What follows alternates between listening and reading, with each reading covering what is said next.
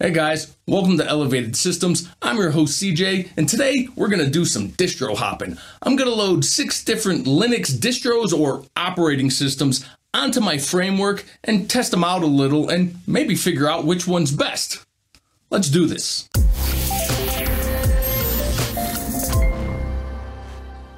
First things first, let me set up the intended audience for this. While this video should be informative for everyone watching with all levels of Linux experience, it's not really intended for the Linux experts out there. I'll be describing things as not working that can be fixed by most people with a working knowledge of Linux. However, this video is intended for the Linux noob, someone with little to no knowledge or experience running Linux, but has moved or is planning to move to a framework laptop and is considering joining the Linux community. So the objective of the video is to install six different Linux operating systems on my framework and assess several things. First, the installation process from the ease of navigating the distro's download page and how obvious it is to select the correct version is the creation of the installation media hassle free and straightforward.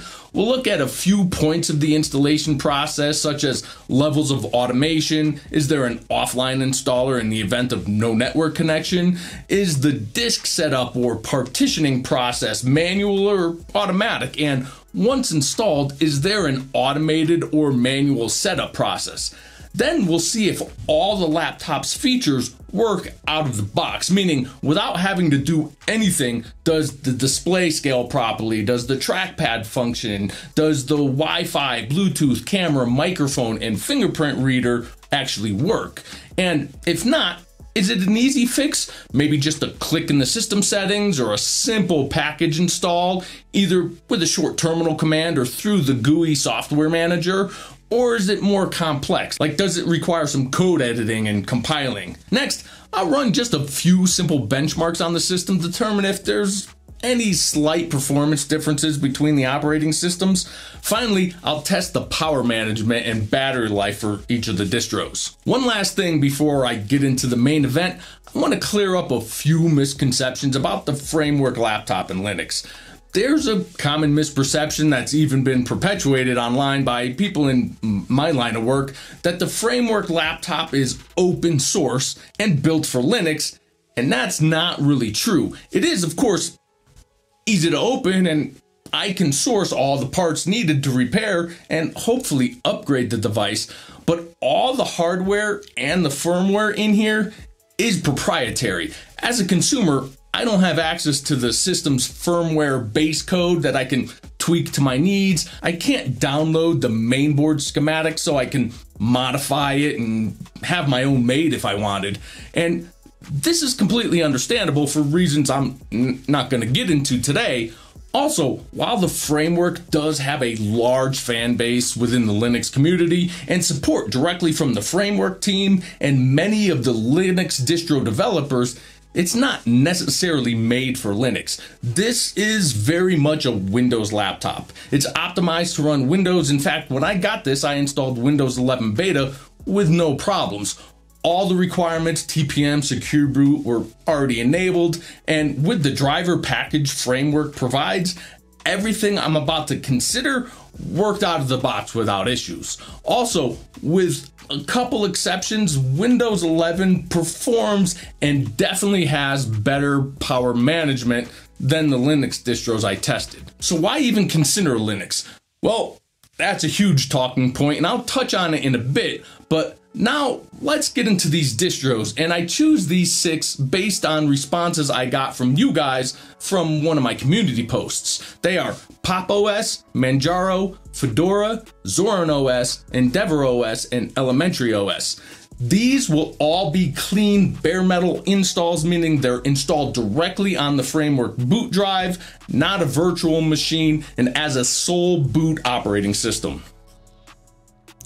We'll start with Pop! OS, and when you click the download link on the website, it'll bring up a couple of options. The version followed by LTS means long-term support. This is System 76 polished and most stable version, but it's not necessarily the most up-to-date. The version on the left is updated every 6 months and will typically have the most updates for newer hardware like the framework.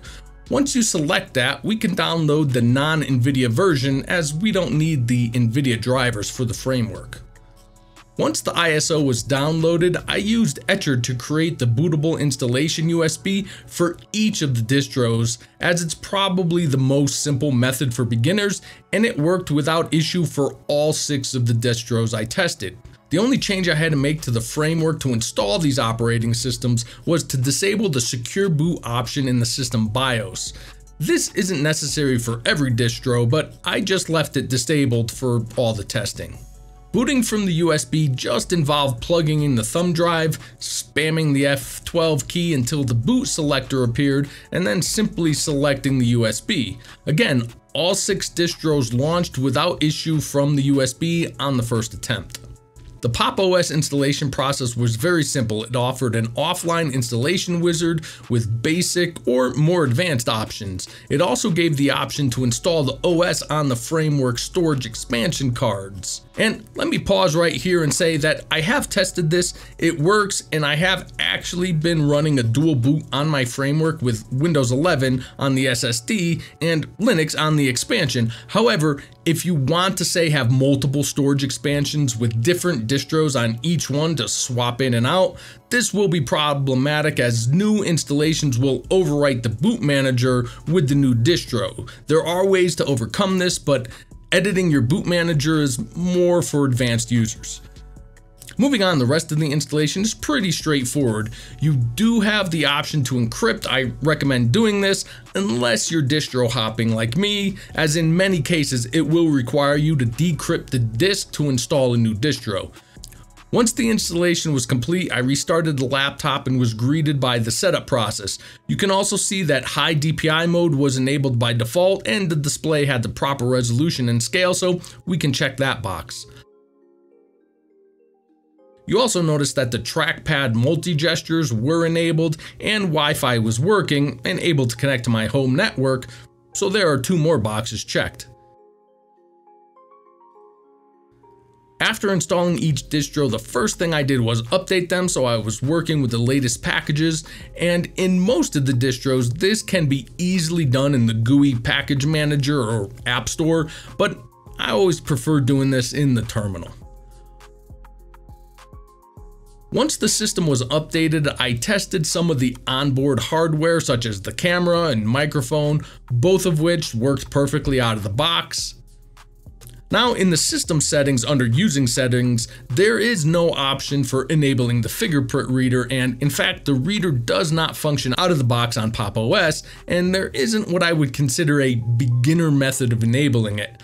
However, thanks to the Linux community, there is a solution provided by community member Brett Kosinski on his blog that I followed to the letter and it worked. And then, borrowing the idea from a framework community member, I wrote a script that should quickly reproduce the process on any Debian based distro.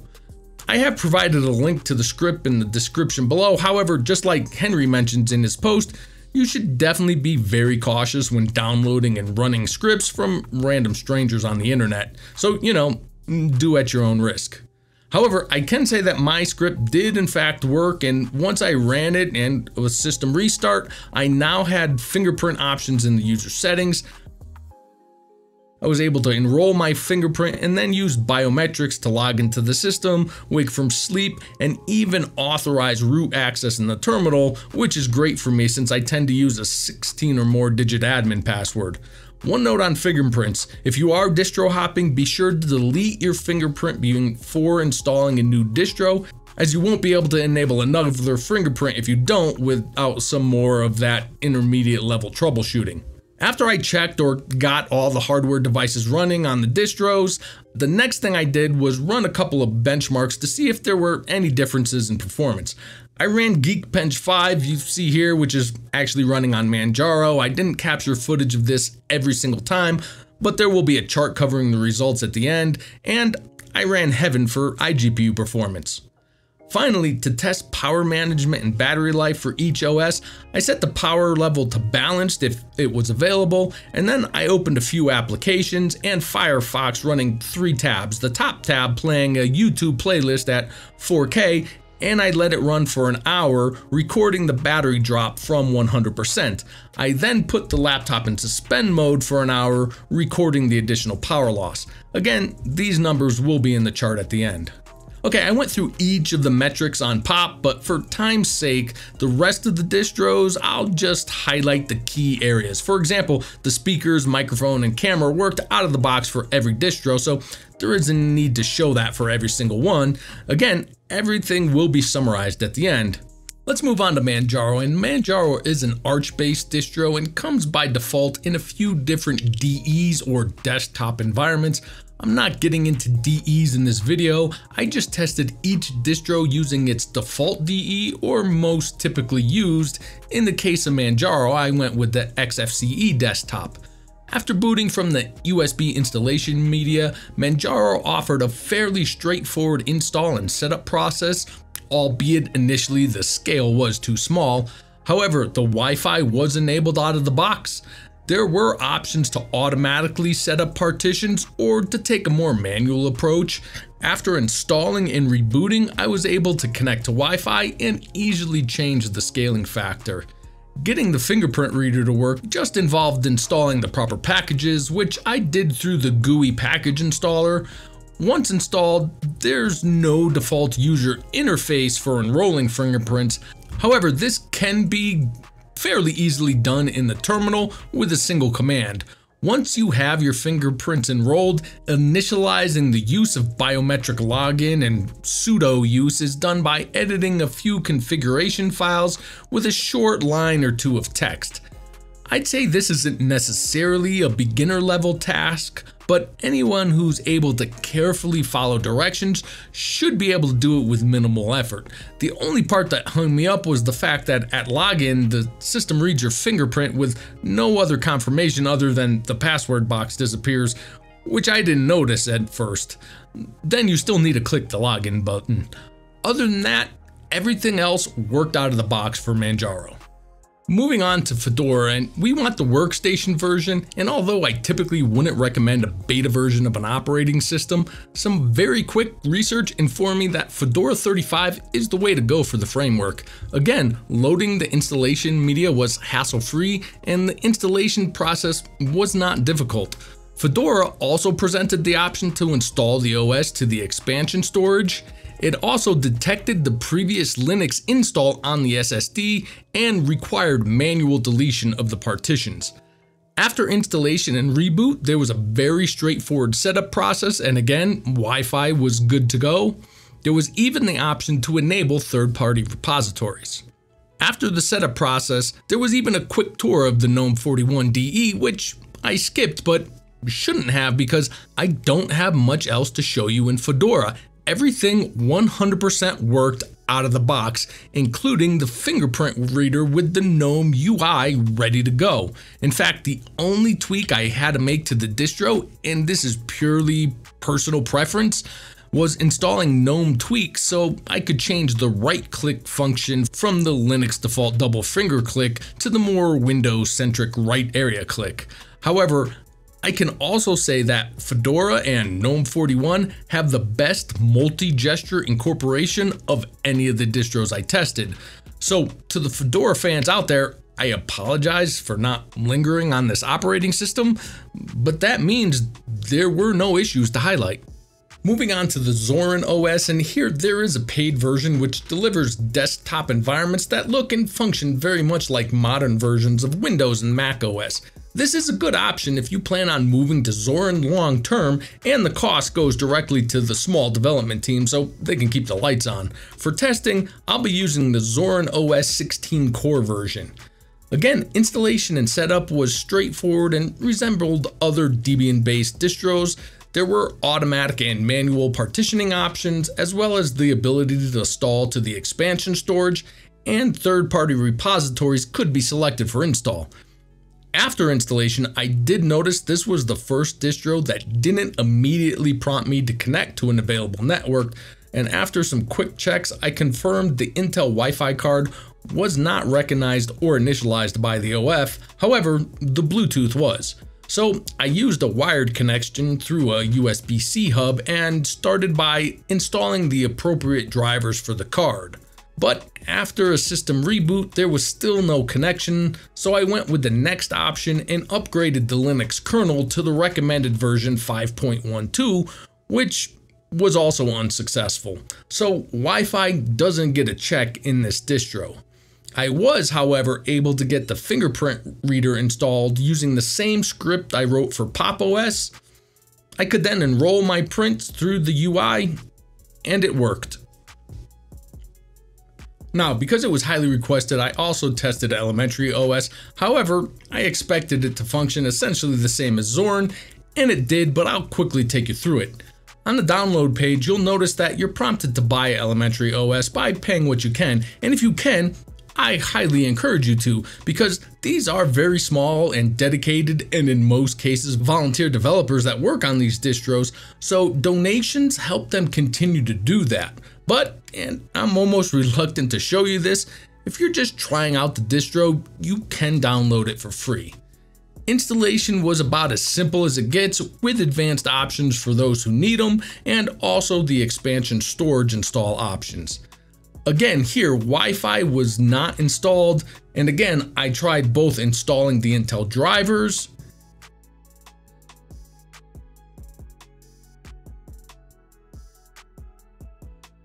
and upgrading the kernel. However, this again did not correct the problem.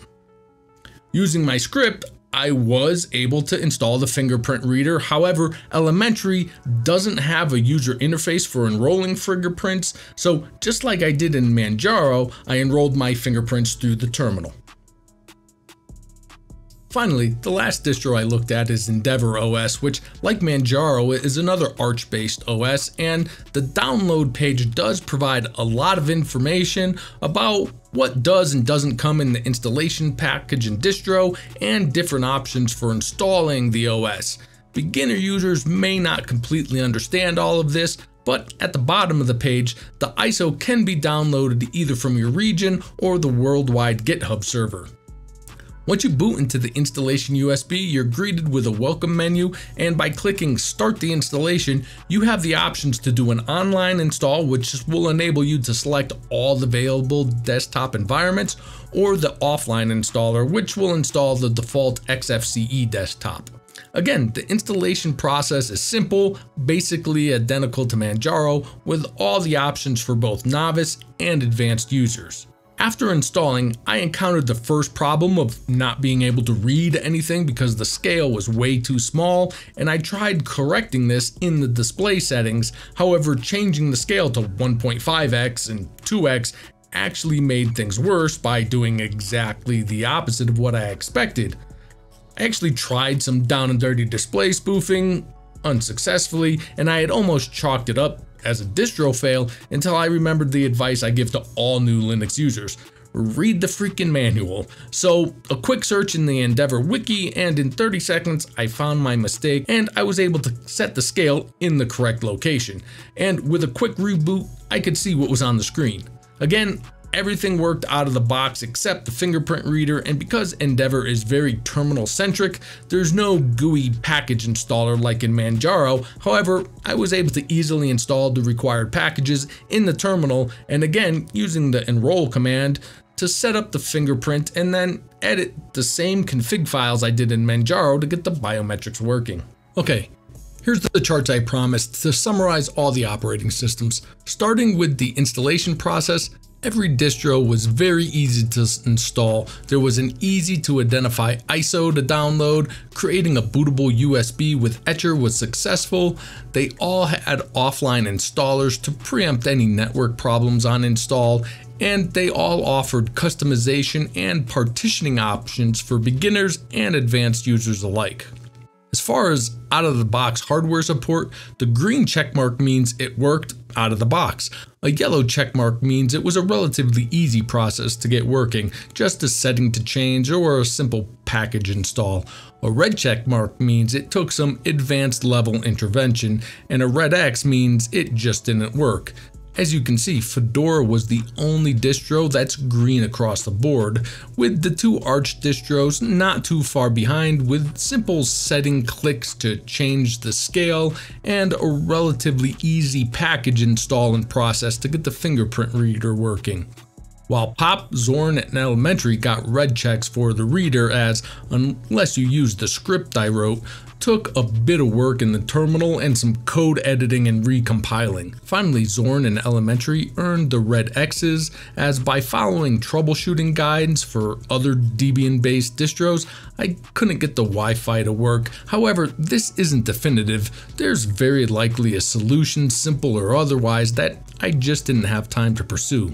Moving on to the performance metrics and looking at the single core scores, we see that single core performance is all pretty close to even across the board and is in line with what we typically see in Windows. However, the Debian based distros and to a slightly lesser degree Fedora fall behind the Arch distros in multi core performance, likely due to Endeavour and Manjaro's lighter weight and more current kernels.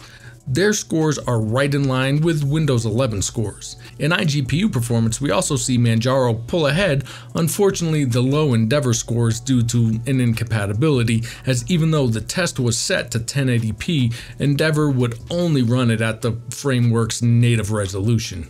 When we look at power usage, again we see the lighter weight Arch distros drain the battery a little less, also, because I was using a USB hub that did draw power from the framework to tether network access for Elementary and Zorin, I wasn't able to replicate the power draw test for those distros, but we do see that all six distros lost 5% battery charge while in suspend or sleep mode.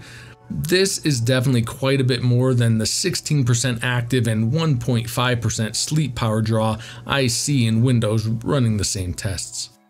So there you have it. Not all Linux distros are created equal, and you may be asking, if it doesn't just work, if I'm not gonna have a smooth, frustration-free experience, why even consider Linux?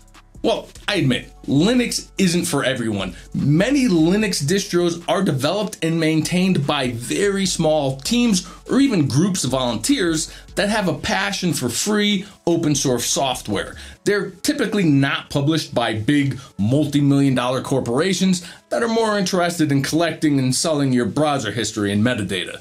So, if you value security and privacy and like the idea of knowing exactly what your operating system is doing behind the scenes on your computer, and you want the ability to fully control, tweak, or modify the OS to fit your needs and your hardware, you might want to give Linux a try. Now, Obviously, I just demonstrated that not everything always works like it should out of the box with Linux, and to be fair, this has a lot to do with the uniqueness of the framework laptop. The framework uses a non-traditional display resolution, has a brand new Wi-Fi 6 card, and biometrics. So, for example, when Intel released the new Wi-Fi 6 card in here, the coordination with Microsoft and the Windows drivers were ready and available at the same time.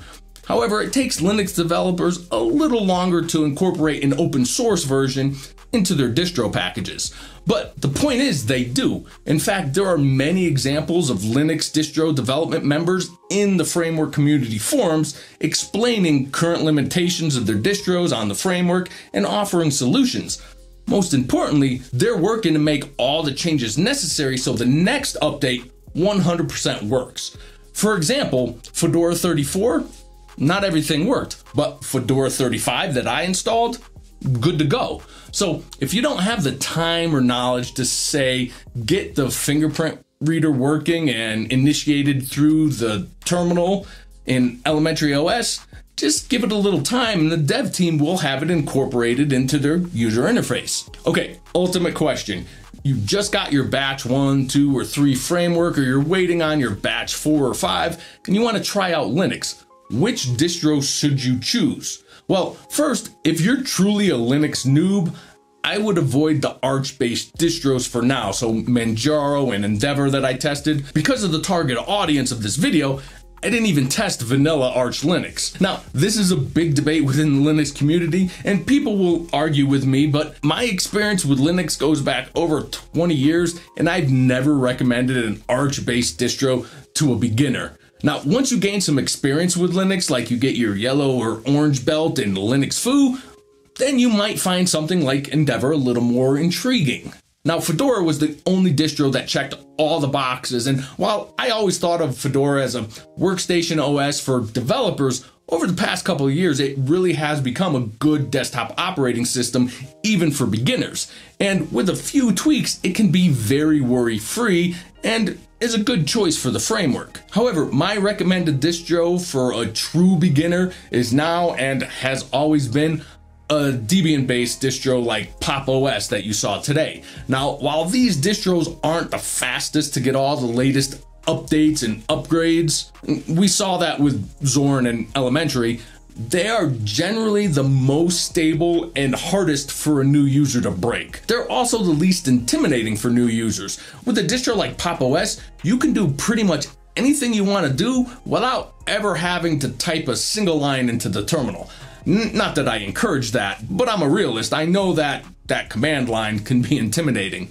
Now, Pop! OS is a great choice, and it's based on my distro of choice, Ubuntu, which, despite it being the most widely used distro, I excluded it from this video, and that's because at the time this video is published in a few days, Ubuntu 20.10 will be released. So I'm going to be installing it on my framework and daily driving it for a while. And then the plan is to share the experience with y'all and to take you through the whole thing step by step, installing it as a dual boot with Windows, tweaking it, fixing any hardware or driver problems, not that I expect any, and how to set up the OS along with some other utilities so you can have a hassle-free user experience and a great springboard starting point into the Linux community. I'm not going to rush it. I don't want to miss anything that could be problematic for new users, so make sure you get subscribed so you don't miss that. In the meantime, if you have any questions, be sure to ask in the comments below. And don't forget to hit that like. It actually helps get this content out to more people with similar interests. I hope you learned something. That is why I do what I do. Hope to see you in the next one. Until then, stay safe.